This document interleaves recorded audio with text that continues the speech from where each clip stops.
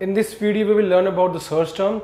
Let's say a user visits your online shopping website and search something in the search bar then you should know what he searched so that user you can easily redirect him to any place on the website. So let's see how we can go for it. Here you can see on the website on the left you can see search bar is visible search entire store here.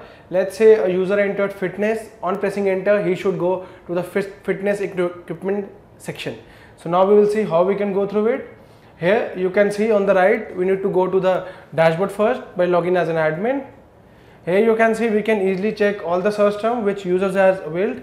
Here you can see go to marketing, on reaching marketing. Here you can see the sections are visible. Under SEO and search you can see search term section is visible, click on it. Now here you can see on clicking search term section is visible where you can see what users search for the queries user search for men clothes bags as well as watches right now. So here you can see here you can also set the redirect url here you can check. The redirect url is visible. Now let's say you need to add a new section for fitness. So after adding that section on your website adding products related to fitness equipment you want users to be redirected to that link whenever they type fitness. For that we need to add a new search term. So click on add new search term now here you can see a section is visible to add a new search term. Here you need to add the search query. I'll type fitness here. Store the default store the, which we are using the resources for which is default store view.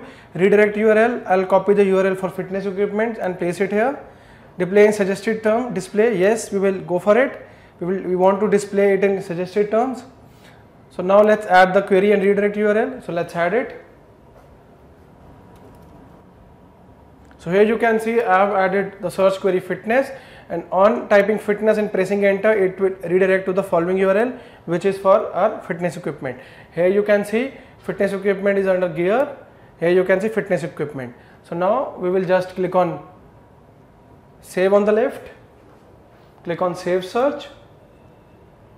Now here you can see we have clicked on save search and now you saved the search term right now in the bottom you can see fitness query is visible. On pressing fitness enter you can see it will redirect to the following url which is fitness equipment.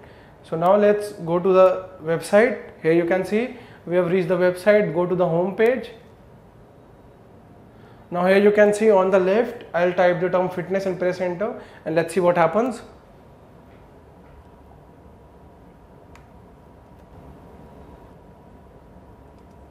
Here you can see I've added term fitness and pressed enter. Now let's see what happens. Now here you can see the section is visible. Now it has been redirected to fitness equipment link which is the following which we added in the search terms here. Here you can see we added the following link. So here you can see in this way we can easily create search terms for user so that it's easier for user to navigate the website. So in this video we learned what is the value of search term, how we can easily go through and check all the search terms, the search queries and how we can easily add a search query so that user gets re redirected to the URL which we want. Thank you for watching.